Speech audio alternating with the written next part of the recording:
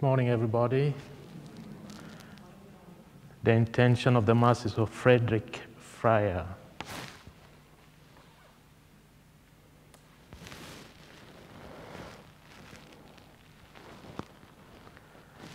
In the name of the Father, and of the Son, and of the Holy Spirit, the grace and peace of our Lord Jesus Christ, and the love of God, and the communion of the Holy Spirit be with you all.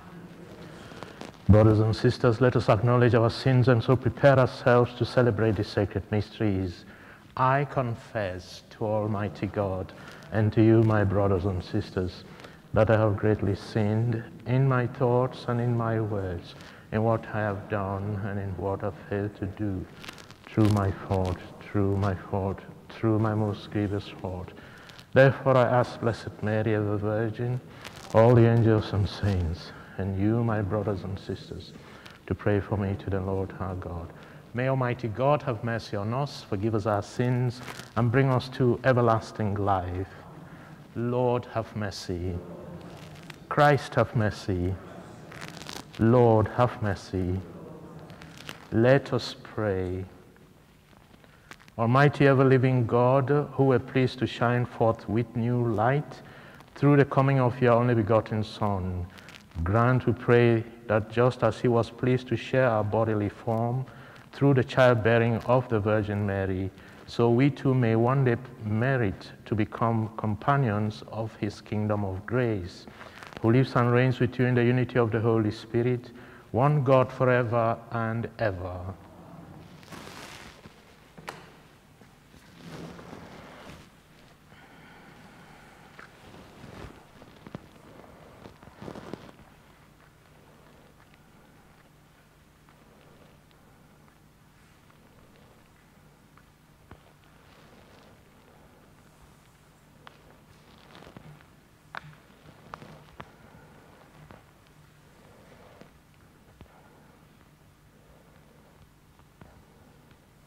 A reading from the first letter of St. John.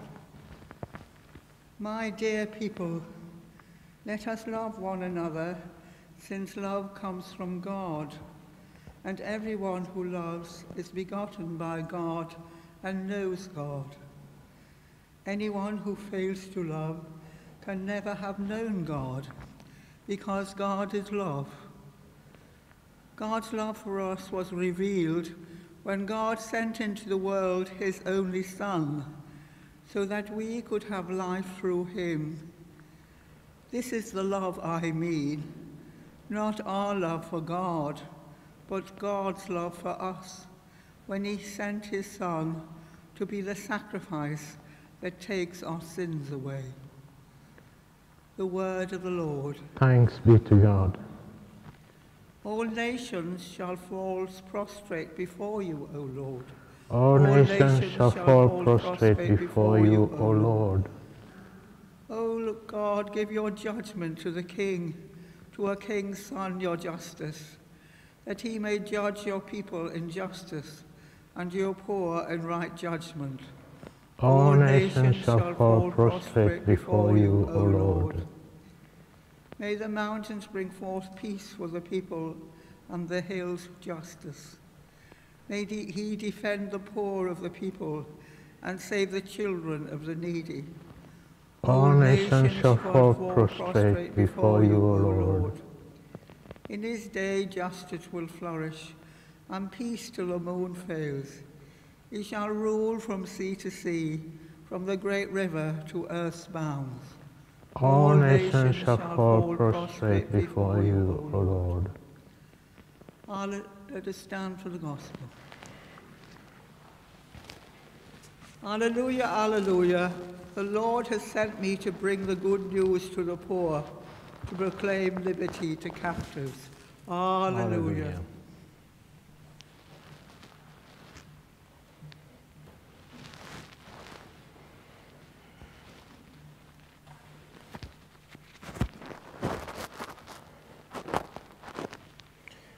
The Lord be with you. A reading from the Holy Gospel according to Mark. As Jesus stepped ashore, he saw a large crowd, and he took pity on them because they were like sheep without a shepherd. and he set himself to teach them at some length. By now it was getting very late, and his disciples came up to him and said, This is a lonely place, and it is getting very late, so send them away, and they can go to the farms and villages round about to buy themselves something to eat. He replied, Give them something to eat yourselves. They answered, Are we to go and spend 200 denarii on bread for them to eat? How many loaves have you? He asked. Go and see. And when they had found out, they said, Five and two fish. Then he ordered them to get all the people together in groups on the green grass, and they sat down on the ground in squares of hundreds and fifties. Then he took the five loaves and the two fish, raised his eyes to heaven, and said the blessing. Then he broke the loaves and handed them to his disciples to distribute among the people. He also shared out the two fish among them all. They all ate as much as they wanted. They collected 12 basketfuls of scraps of bread and pieces of fish. Those who had eaten the loaves numbered 500 men the gospel of the Lord.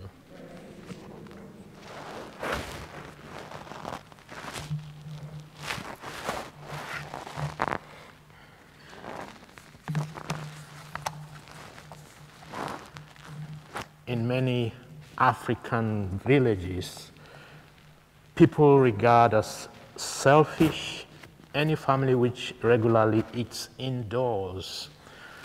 Meals are taken outdoors so that any passing traveler can share whatever food is available. It also explains why someone can travel lightly without carrying heavy supplies of food and water. On their departure, a family member will accompany the stranger for part of the way so that they are not lost on unfamiliar paths. Because of uncertain or non existent means of communication, advance warning of the arrival of a visiting relative or friend is unnecessary. Accommodation is guaranteed, and very often any necessary transport costs for the onward journey. Today's gospel raises issues of hospitality. People have traveled to hear Jesus, and it would be bad manners to dismiss the crowd on empty stomachs. There were no guarantee that everyone had food or the money to buy it from a nearby village. Jesus understood that, but his disciples conveniently overlooked tradition and good manners. They also couldn't afford to buy vast quantities of food. We know that the day ended with a huge crowd sharing a few loaves and fish, but without Jesus' courtesy and compassion, many might have otherwise gone hungry. There is no need for bad manners. Courtesy gives respect and dignity regardless of someone's gender, age, religion, color, or socioeconomic status. Jesus fed thousands of people without distinguishing between the haves and the have nots. Do I imitate this generosity and compassion for others? Let us pray. Lord Jesus, may your courtesy and compassion inspire all our encounters with other people. Help us to give them respect and courtesy. Teach us to be generous. Lord, hear us. We ask Our Lady to intercede for us as we pray. Hail Mary, full of grace, the Lord is with thee. Blessed art thou amongst women and blessed is the fruit of thy own Jesus. Holy Mary, Mother of God, pray for us sinners now and at the hour of our death. Amen.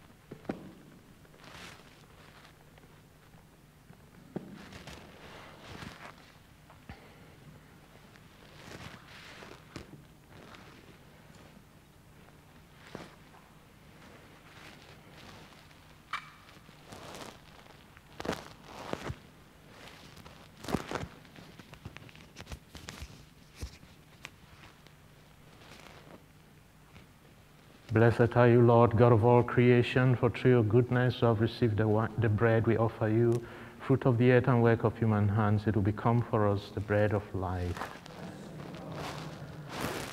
Blessed are you, Lord, God of all creation, for through your goodness you have received the wine we offer you, fruit of the vine and work of human hands. It will become our spiritual drink.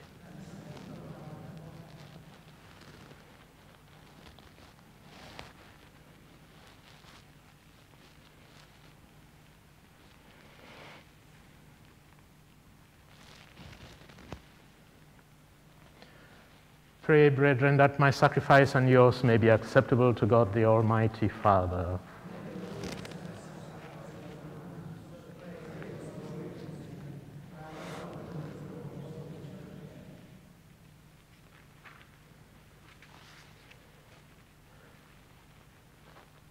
O God, who give us the gift of true prayer and of peace, graciously grant that through this offering we may do fitting homage to your divine majesty, and by partaking of the sacred mystery we may be faithfully united in mind and heart through Christ our Lord.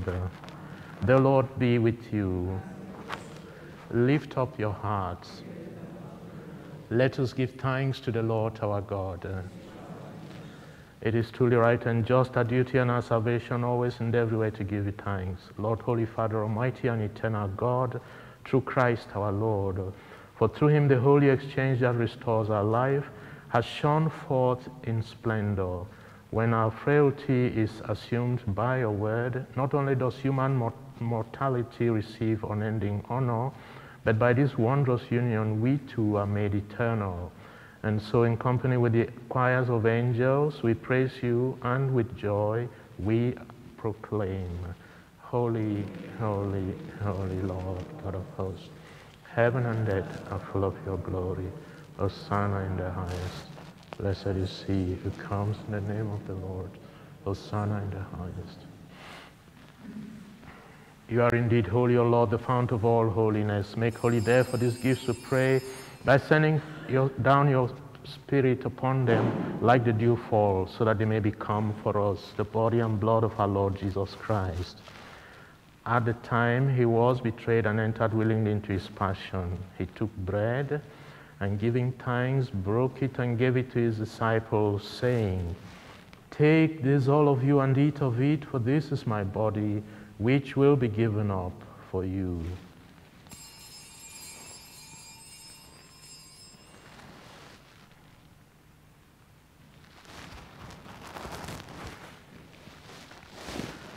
In a similar way, when supper was ended, he took the chalice, and once more giving thanks, he gave it to his disciples, saying, Take this, all of you, and drink from it, for this is the chalice of my blood, the blood of the new and eternal covenant, which will be poured out for you and for many, for the forgiveness of sins. Do this in memory of me.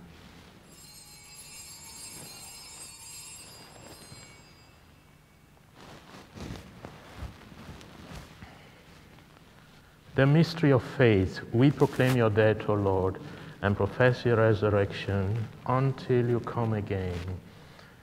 Therefore, as we celebrate the memorial of his death and resurrection, we offer you, Lord, the bread of life and the chalice of salvation, giving thanks that you have held us worthy to be in your presence and minister to you. Humbly we pray that partaking of the body and blood of Christ, we may be gathered into one by the Holy Spirit. Remember, Lord, your church spread throughout the world and bring her to the fullness of charity, together with Francis, our Pope, and Mark, our Bishop, and all the clergy. Remember also our brothers and sisters who have fallen asleep in the hope of the resurrection and all who have died in your mercy. Welcome them into the light of your face. Have mercy on us all, we pray, that to the Blessed Virgin Mary, Mother of God, with blessed Joseph, our spouse, with the blessed apostles and all the saints have pleased you throughout the ages, we may merit to be coerced to eternal life and may praise and glorify you through your Son, Jesus Christ. Through him and with him and in him, O God Almighty Father, in the unity of the Holy Spirit, all glory and honor is yours forever and ever. At the Savior's command and formed by divine teaching, we dare to say, Our Father, who art in heaven, hallowed be thy name. Thy kingdom come, thy will be done on earth as it is in heaven. Give us this day our daily bread, and forgive us our trespasses, as we forgive those who trespass against us. And lead us not into temptation, but deliver us Deliver us, Lord, we pray, from every evil. Graciously grant peace in our days, that by the help of your mercy we may be always free from sin and safe from all distress, as you await the blessed hope and the coming of our Savior, Jesus Christ.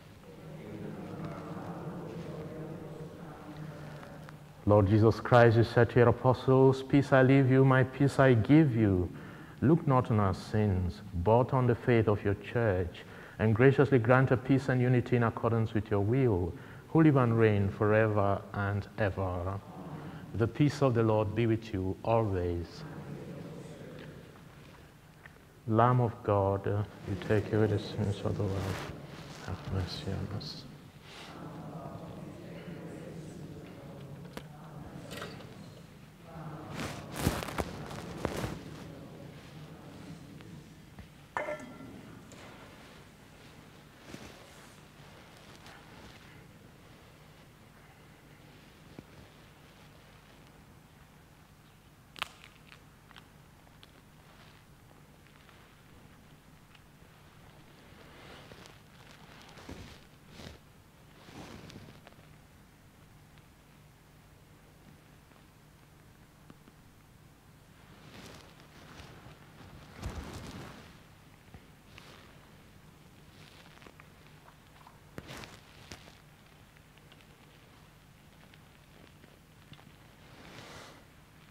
Behold the Lamb of God, behold him who takes away the sins of the world.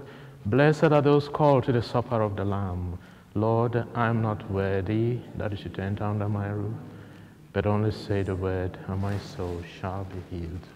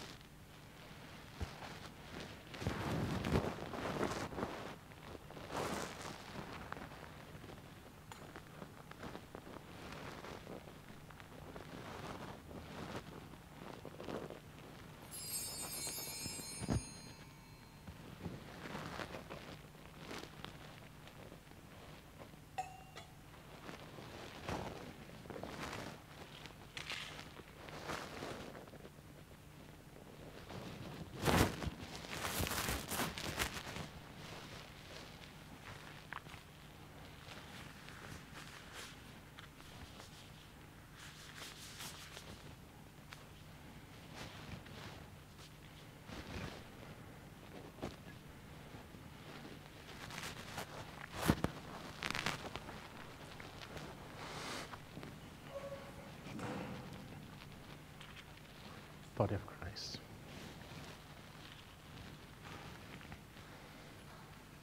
Body of Christ. Body of Christ. Body of Christ.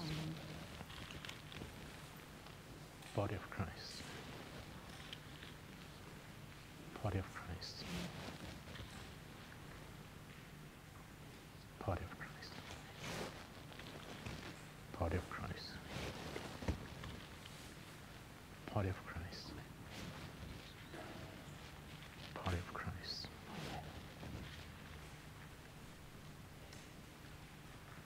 Body of Christ. Body of Christ. Body of Christ. Body of Christ. Body of Christ. Body of Christ. Body of Christ.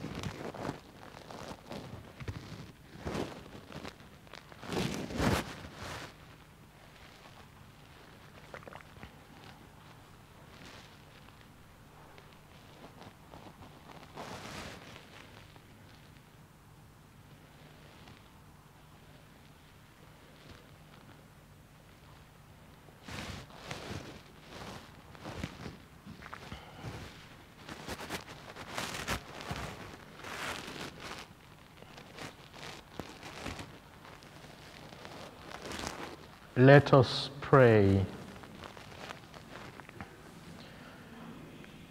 May your people, O Lord, whom you guide and sustain in many ways, experience both now and in the future the remedies which you bestow, that with the needed solace of things that pass away, they may strive with ever deepened trust for things eternal, through Christ our Lord. The Lord be with you. May Almighty God bless you, the Father, the Son, and the Holy Spirit. Go in peace, the Mass is ended.